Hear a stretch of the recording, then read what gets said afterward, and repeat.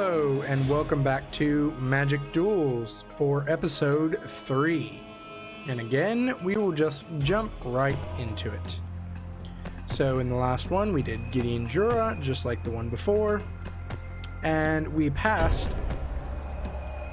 the uh, Kytheon Iora. I still have no idea how to pronounce most of these names.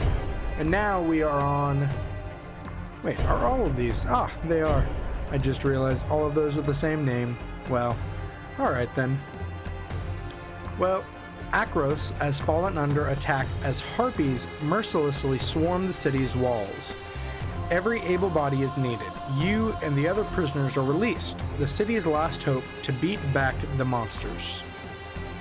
Alright, seems like we're gonna get 30 gold and it just decreased on from there. So let's go ahead and get started.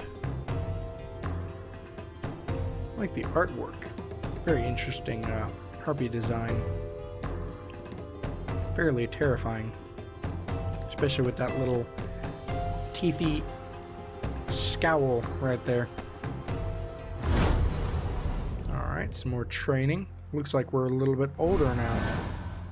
You can have multiple creatures grouped together to block a single attacking creature. This is a good way to gang up on a larger threat. Your opponent chooses how the attacking creature deals damage to your blockers. Alright. I actually can't remember if that is a part of the cardboard version of the game, like the, the ones with the actual playing cards, if uh, if you're allowed to do that. But if we are on here, we will definitely Usually, an attacking creature will deal all its damage to the creature that blocked it. But a creature with trample can deal its excess damage to the defending player. Alright, so it seems we're going to be having to uh, deal with trample on this one. You'll see trample and group blocking in action in this skill quest. To complete it, block the incoming attack and win on your next turn. Alright. So it looks like we have Centaur Courser? Is that Courser? Pretty sure. And Vulpine Goliath. I really, really like that artwork. I like that a lot. Trample. This creature, blah, blah, blah, can deal excess damage, uh, excess combat damage to defending player or planeswalker while attacking. Alright, so to any of these, this creature can't attack. Okay. Whoa. We're gonna wait up here for a second. And so they have a Vulpine as well. And that's not... That is not good because... Ah, so we are going to block with multiple creatures. We're going to block with these two. I, I see how it is. And then on the next turn, we are going to attack straight through and attack this one more than likely and deal trample. See, I'm, I, I'm kind of understanding how this is supposed to go. Continue.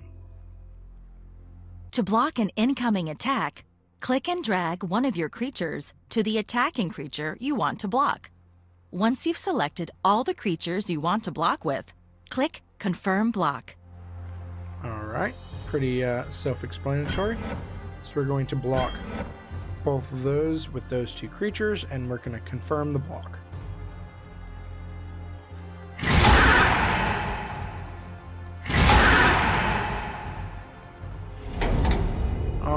So we dealt with their uh, Vulpine Goliath.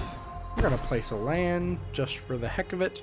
And now we're going to attack with our Vulpine Goliath. Break through this uh, this block because they're definitely going to block. But those two will end up killing the practice drone, training drone. All right.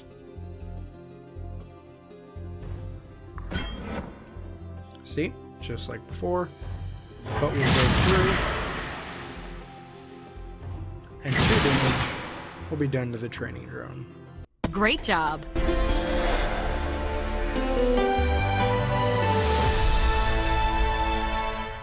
Sorry about those uh, music spikes, guys. It actually gets really, really loud in my headphones as well, so. Normally, just all attacking and blocking creatures deal combat damage at the same time. However, a creature with First Strike deals its combat damage first. before creatures without First Strike. This means a creature with First Strike can often destroy an enemy creature before that creature gets the chance to hit back. All right. In this skill quest, withstand your opponent's assault and attack on your turn to seal your victory. Okay. So let's see what we have. We have Kindled Fury. Instant, so it's an instant spell. Target creature gets plus one plus zero and gains first strike until the end of turn.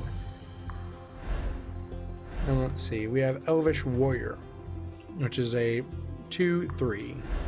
And they have an artifact creature, Juggernaut. Juggernaut attacks each turn if able. Juggernaut can't be blocked by walls. Alright. So, seems as though we are going to block. Hmm. Gains first strike into the end of turns. So we're gonna so that'll make it a three a three three. Which means it'll deal damage and then we will be able to take it out after. Gotcha. All right. Understood. Understood. We're going to do that. We're going to A timer counts down whenever it's your turn to act. If you want to cast an instant, click. So we're, I'm just going to go through that because we already know that from the last uh, episode. So we're going to play this instant and apply it to our Elvish Warrior.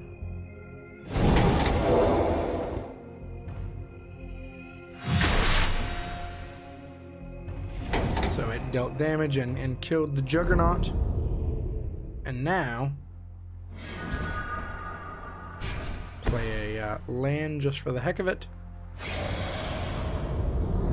And now we'll attack and deal the two damage necessary to destroy this training drone.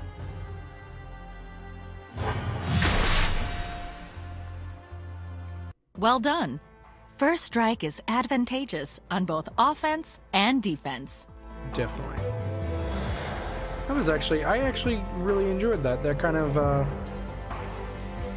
displayed the uses of First Strike very, very well. I If one of your creatures dies, it's put into your graveyard. Instants and sorceries are also put into your graveyard after you cast them. Other cards can also be put there, such as cards you discard from your hand. Some spells and abilities can bring cards back from your graveyard. To complete this skill quest, use your graveyard to win this turn. All right, so let's see what we have in our graveyard. We have Lightning Elemental, and it has haste. This creature can attack and tap as soon as it comes under your control. Okay. And then we have Rise from the Grave. Put target creature card from a, from a graveyard onto the battlefield under your control. That creature is a black zombie in addition to its other colors and types. Interesting. And do we have. So it needs one of these and then four. So we're going to play this sorcery. Bring that from the grave. Wonderful. And then we can attack, and because this is tapped, it can't do anything, it can't block whatsoever. So we're going to punch straight through with our four and attack. So attack with all, confirm attack, and we win.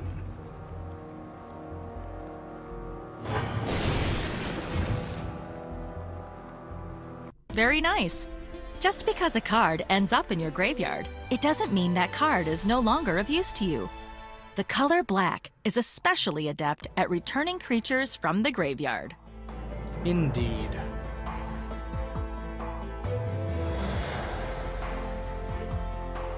So I hope now we get on to the actual battle. Some abilities trigger whenever something else happens in the game. These are called triggered abilities. For example, many creatures have abilities that trigger when they enter the battlefield. If an ability triggers on an event you can repeat, such as playing a land, you can reap the rewards every time. All right. Complete this skill quest by using triggered abilities to defeat your opponent this turn. Okay, so let's see what we have real quick. Whenever another red creature enters the battlefield under your control, Foundry Street Denizen gets plus one plus zero until the end of turn, so it'll make it a plus two. And when Manic Vandal Vandal enters the battlefield, destroy target artifact. So let's see what target artifact they have. Artifact creature, so we'll be able to destroy that. And considering this is tapped, it is no use to uh, block us. So we're going to play. We're going to destroy that. And now we are going to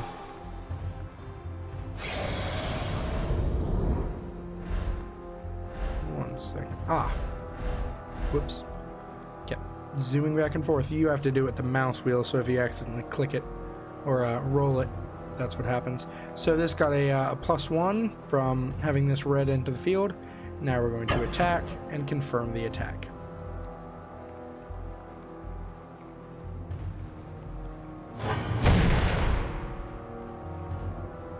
Excellent! Many creatures do much more than just attack and block. So now we're finally on to the actual game. So we're going to play a land and play an Elite Vanguard.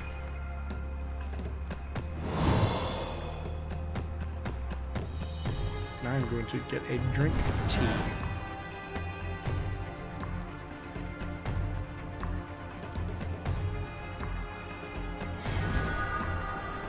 Alright. We're going to play another land.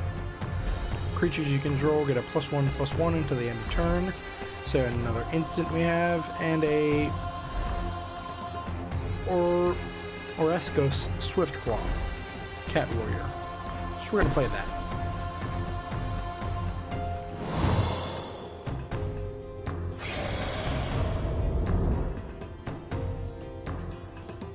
All right, and so it does look like we can uh, some some quick damage in right there.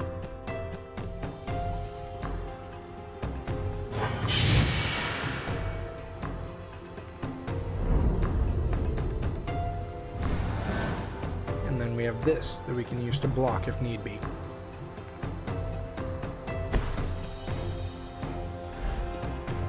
This creature can block creatures with flying. Alright. Canopy Spider.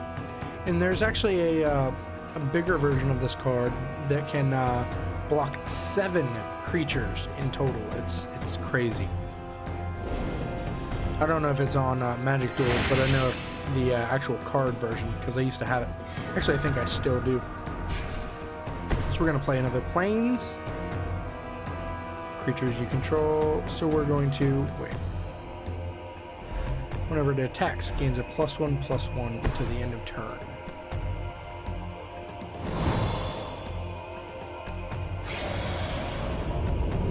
So I think I'm to leave this but I'm most definitely to attack with this. And even if he doesn't defend it, even if he doesn't defend it, we can still get some damage done. Wonderful.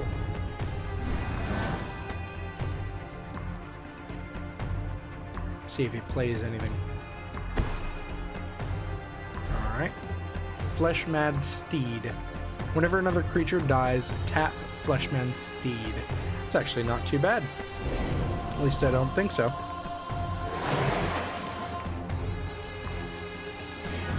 Could always use it to their advantage. I'm gonna play another Plains. Charging Griffin again, and Inspiring Captain. Inspiring Captain enters the battlefield. Creatures you control gain a plus one, plus one until the end of turn. So that's not bad. That's a uh, four cost, so two four costs. So we're gonna play that, and we'll be able to pass right over him.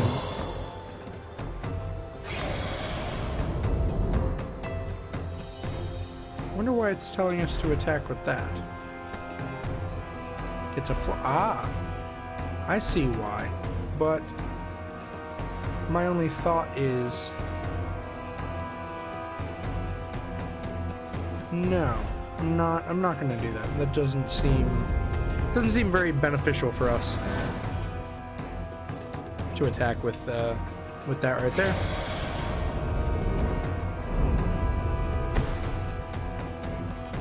Another spider. Not, not the best thing in the world. Creature that has double strike deals damage twice in combat. Once when creatures deal first strike damage, and again when creatures deal regular damage. It is possible for a creature to be destroyed before it can deal combat damage. What is that? Is that... Ah, Spear... Skyspear Cavalry. Double Strike. This creature deals both first strike and regular combat damage. Interesting, but it is a, uh, a 5 cost, and we don't have 5 yet. So we'll play another Inspiring Captain.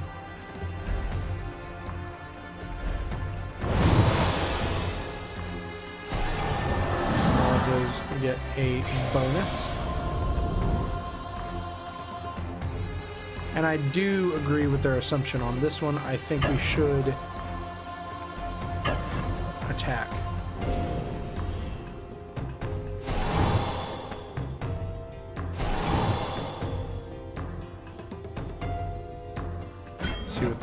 We're gonna stop the timer real quick.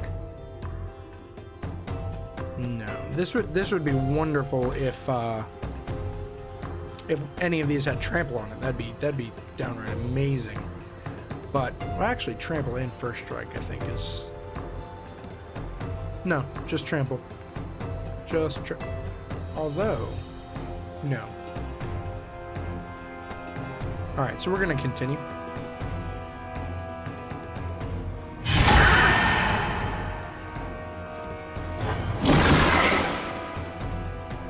Did a little bit of a uh, damage to the harpy. Now just canopy uh, spider is left, and these two are tapped. So what did he bring out? Creature Gorgon. All right. When Pharika's yeah Pharika's Mender enters the battlefield, you may return target creature or enchanted enchantment card from your graveyard to your hand. I wonder what they're planning on doing with that. That seems uh, a little frightening.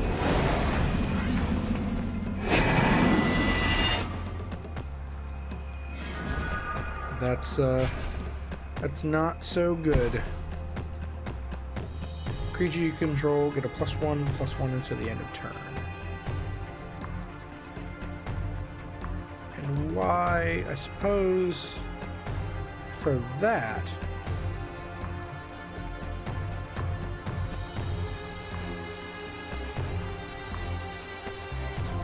Maybe.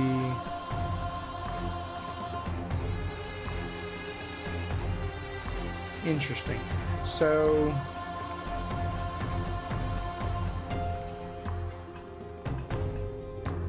Actually, yes, I'm going to continue. and wait for them to block, and then I'm going to play Glorious Charge. And I agree, yeah, we should probably leave him out of this. We're going to confirm the attack. Wait for them to block, if they choose to. Just going to wait, so they're blocking that. Easily deal with that, and they're blocking that, and that can easily deal, but does that do... It's plus one, plus one. I think we can save that, to be honest. Well, I suppose it does give that a little bit of a boost, but I don't think... Because that doesn't have trample or anything, so yeah, we're just going to continue. The, these will get destroyed, that will go through, and we can save that, the instant.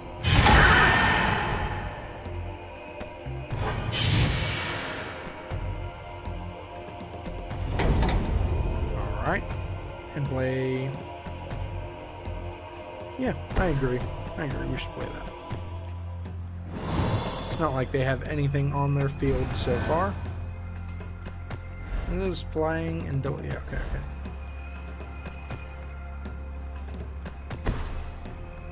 Let's see, what is this? When Forsaken Drifter dies, put the top four cards of your library into your graveyard. Interesting, so it seems like they're trying to get more into their graveyard so they can use more. So do we have anything with three? I don't, I don't like that. Although, if they block with that, I think it'll still deal damage, which isn't bad.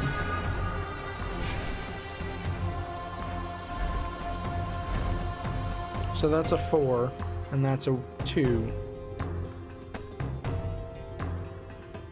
Play that, it's not like it can do anything this turn anyway, so I think we're going to stick with this.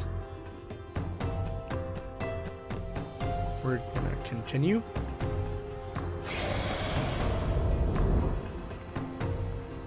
Attack with all, confirm attack, and we're going to use that when we get a chance.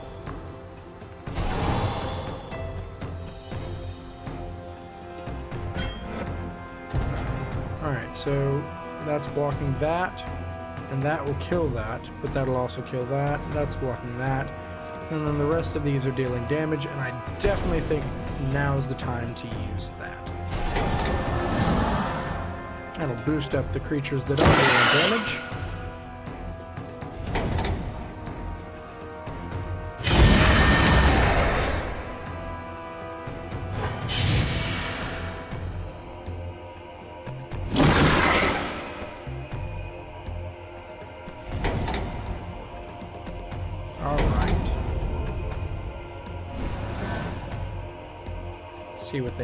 Their sleeve.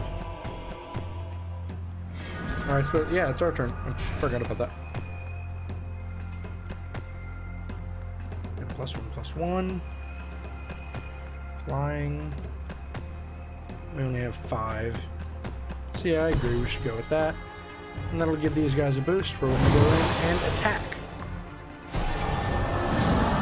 And this will seal the victory for us. Hopefully, anyway, depending upon if they have any instants or any such things. Nope.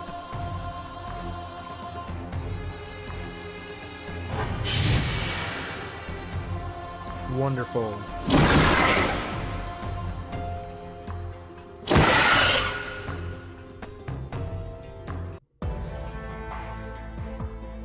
Pretty good, pretty good, guys. Kytheon wins. Got a 190 for gold. When your martial talents and magical skills, with your martial talents and magical skills, you manage to fend off the onslaught of the Horus Harpies. However, you hear calls for help from the main gate. Before the Harpies can regroup, you make your you make your way along the walls toward the cries. Continue. All right. That was a pretty good one, guys. I hope you enjoyed this episode. I definitely did. Uh, if you did enjoy the episode, make sure to click the like button. If you really enjoyed it, make sure to subscribe. And I will be back soon with the next one, guys. Cheers.